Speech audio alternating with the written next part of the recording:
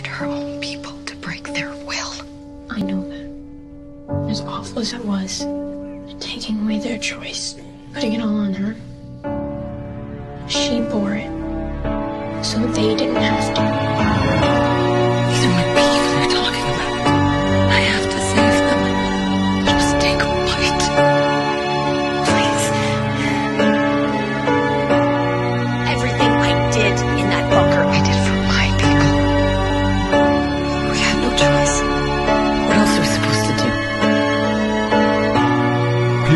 You're in charge.